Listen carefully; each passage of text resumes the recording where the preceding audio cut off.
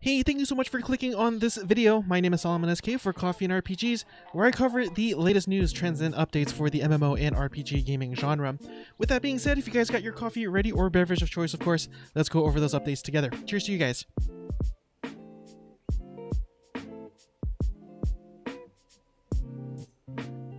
And let's go ahead and get started, and we'll first cover some of the articles from MassivellyOP.com.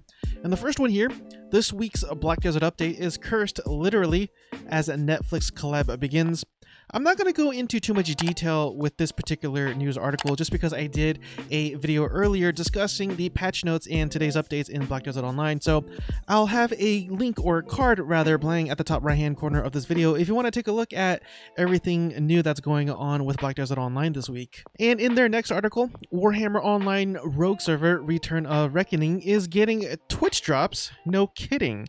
And of course, this is very unusual because we all know that Rogue servers are ran by individuals who actually do not own the IP to the game that they are running. Hey, it seems to be popular enough to get this feature, but it does go on to read that enabling Twitch drops is a new milestone for us. It does not help with the servers in any financial way to clear that out, as the devs explain. And if I remember correctly, I believe the Warhammer Online IP actually belongs to EA. So even though technically, I guess by law, what they're doing is illegal, I figured at the end of the day, whoever does own this IP is probably saying, what's the harm? at least that's what I assume. And in their next article, Heroes and Villains promises unique narrative, features, and gameplay that doesn't revolve around combat. And I will admit, this actually does pique my interest. And it goes on to read that posts from February to current involve a number of thoughts on how the developing title will approach narrative matters differently than other MMOs, including making player choices meaningful and permanent, as well as avoiding pointless side quests. There are also a number of posts talking about the problem of power standardization and several more posts about using powers outside of combat. And if they are actually able to pull this off, this would actually give the definition of RPG its full meaning more often than not, it's always about who you could defeat, who you could kill in order to gain or make progress and level up and whatnot. I think that's why you see a lot of videos out there where people try to complete the Fallout series without killing a single thing, and it gets very harder and more difficult to do as more Fallout games are released. I believe at least in 3 you could actually talk your way out of certain situations and still complete the game without killing anything. And quite frankly, I hope this is a direction that a lot of other companies do in terms of making their RPGs as well. Next we have a few articles from MMORPG.com. Risa's annual Lol Lolnot Festival, I do apologize for mispronouncing that, returns to Star Trek Online on August 4th. Activities from the previous years will be available for you to partake, including the Powerboard Racers, Biathlon, Harger. Man, I am so sorry I cannot pronounce these things. But if you're a Star Trek Online fan, I'm pretty sure you already know what I'm talking about. New to this year's festivities is the fact that you can take part in any of these events with progress you gain towards, I believe that's what this uh, the sentence is trying to say, uh, the progress you gain towards the Risian weather control vessel. And in their next article, Elder Scrolls Online performance updates and AoE tests coming to Cyrodiil. ZeniMax Online Services creative director Rich Lambert has addressed some changes that they will be testing in hopes to optimize your PvP experience. The post gets quite in depth about how the system currently handles the ability usage and how AoE abilities factor into that. Luckily, ZOS is on the case as they are pointing to Update 27's release as fixing the core problem relating to performance problems on the AoE spectrum. To do this, they have planned some test and release details regarding those tests as follows. And as you can see here, the tests will be ran in different phases with tests 1 through 4. I'm not going to go through every single little point just because it sounds incredibly boring, to be honest with you. But lastly, it does say during the times that the tests are active, ZOS has opted to reward players with double alliance points. Update 27 is set to release on August 24th for the PC. Next, here's what's planned for the future of Neverwinter content. The team touches on Blood War, specifically mentioning that Blood War will change from a platform wide to an instance based mechanic. This will now be similar to heroic encounters.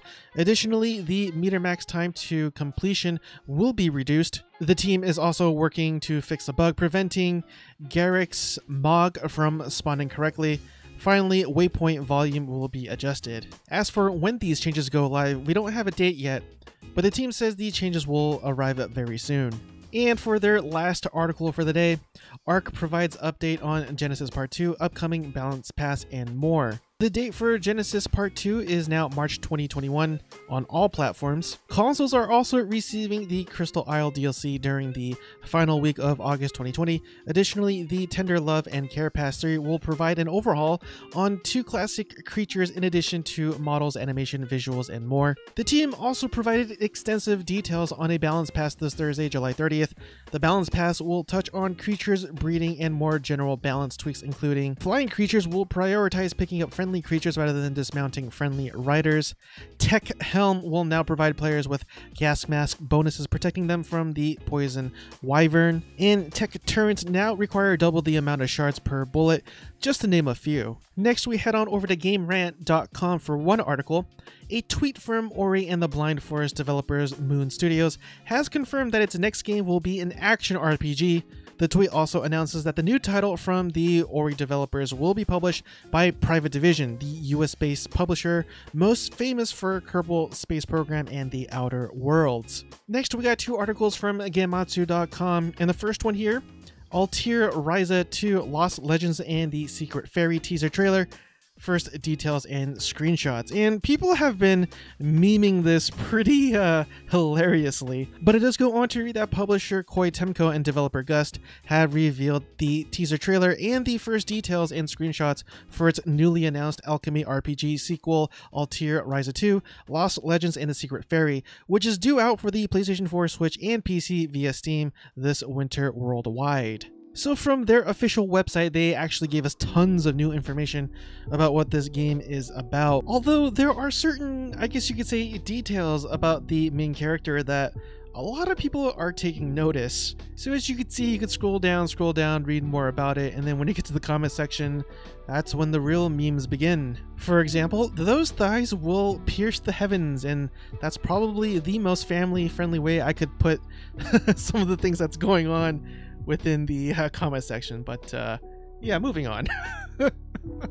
and in their next and last article of the day, publisher Koei Tecmo and developer Team Ninja debut gameplay footage of the July 30th due Nioh 2 downloadable content, the Tengu's Disciple, during a pre-launch live stream. It is of my opinion that this game doesn't receive as much love as it once did, considering we now have Sekiro that came out, I believe, a few months ago, but now we also have Ghost of Tsushima that came out last week, and people kind of forgot about this one in my opinion. So next we'll go ahead and take a look at some of the articles from altchar.com.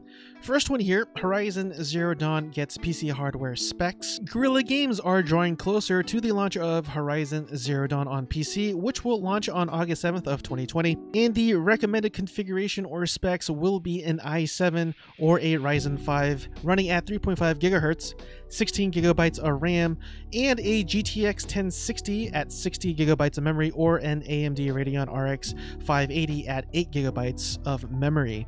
Next, you can explore the ocean in Cyberpunk 2077, but don't expect water exploration in the game. And I do apologize, it is cut off on the right there if you're watching this on YouTube. But it does go on to read that players will be able to swim, dive, and explore the water in Cyberpunk 2077. And there is some content based in the water, but don't expect a water exploration game. Senior level designer Miles Tost confirmed in a latest podcast.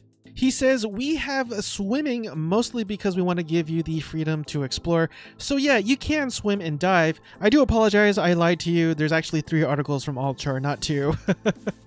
But the last one here being new GTA Online heist reportedly takes place in Liberty City with Niko Bellic returning. It reads on a leaker who accurately revealed details about the upcoming GTA Online update has shared a couple of new details about the new heist. Apparently, it is set in Liberty City and will feature Niko Bellic and his cousin Roman. Furthermore, the leaker states that all future GTA Online updates will be based on Liberty City, so expect to see a lot of the events and activities in the New York inspired location. But again, also, this is a leak, so take everything with a grain of salt.